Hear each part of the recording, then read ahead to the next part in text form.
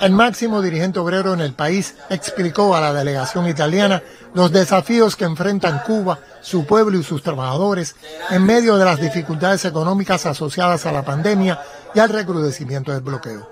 Además, les especificó que a pesar de las recientes medidas adoptadas por la administración Biden respecto a la isla, estas no cambian la política norteamericana de tratar de asfixiar a la revolución sigue constituyendo la causa principal, principal, hoy recrudecido además, principal, del obstáculo a la eficiencia que demanda nuestra economía.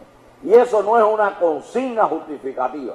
Guilate de Nacimiento dijo a la delegación italiana de la Red en Defensa de la Humanidad en las actuales circunstancias de cambios en el modelo cubano, una gran tarea de la CTC es intensificar la educación económica, jurídica e ideológica de los más de cuatro millones de trabajadores existentes en el país.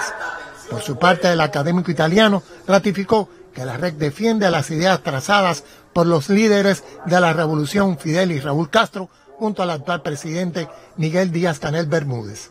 Estudiar lo que vosotros están haciendo no solo permite un pensamiento crítico, pero nos da la fuerza también con los jóvenes para decir, no somos sectarios extremistas, no somos solos, esa gente que está trabajando con dificultad en esta manera. Al encuentro efectuado en la CTC asistieron además el presidente y vicepresidente de la Asociación Nacional de Economistas de Cuba, Oscar Luis Jumpentón y Ramón Lavallino Salazar, respectivamente.